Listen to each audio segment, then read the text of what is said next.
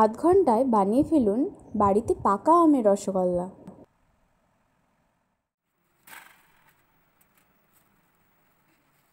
প্রথমেই আমটি ভালোভাবে কেটে নিন।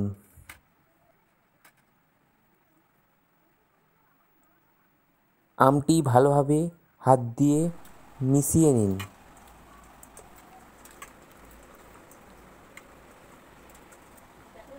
এরপরে একটি কড়া নিন। এবং সেই কড়াতে আমটি দিয়ে দিন। গ্যাসের আঁচটি কম করে বেশ কিছুক্ষণ নাড়তে হবে, যাতে আমটি একটু গাঢ় হয়ে আসে।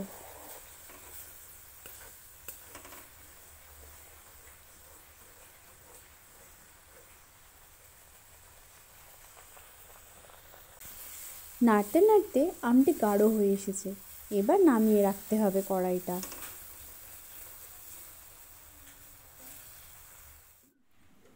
মিষ্টির দোকান থেকে আনা দেড়শো গ্রাম ছানাটিকে এবার ভালো করে মাখিয়ে নিতে হবে, যাতে কোনো ডেলা ভাব না থাকে।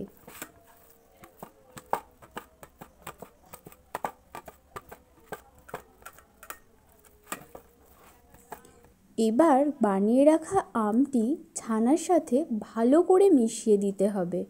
এখানেও দেখতে হবে, যাতে কোনো ডেলা ভাব না থাকে।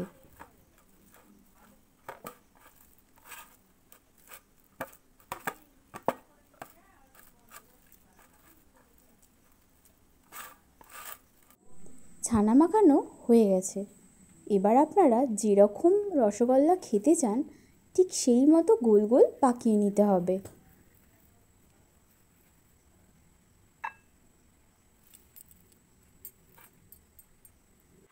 আমাদের বাড়িতে যতগুলি রসগোল্লা খাওয়ার লোক আছে, ঠিক তাদের হিসাব মতো আমরা বেশ কয়েকটা গোলা পাকিয়ে নিলাম। এবার কড়াইয়ে তিন কাপ জল দিয়ে দিলাম।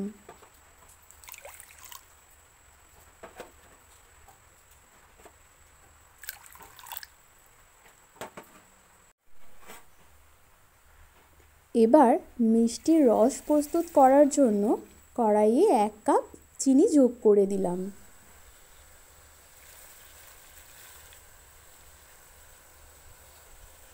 যতক্ষণ পর্যন্ত না জলটি ফুটে যাচ্ছে, ততক্ষণ চিনিটিকে নাড়তে হবে। বেশ ভালো করে।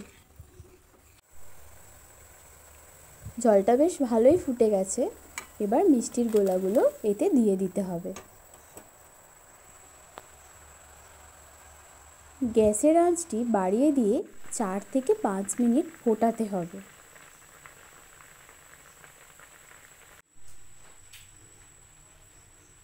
ব্যাস আমের রসগোল্লা খাওয়ার জন্য প্রস্তুত?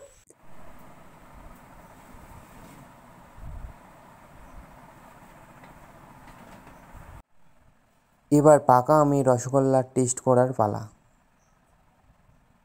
আপনারাও বাড়িতে বানান এবং কেমন লাগল আমাদের জানান।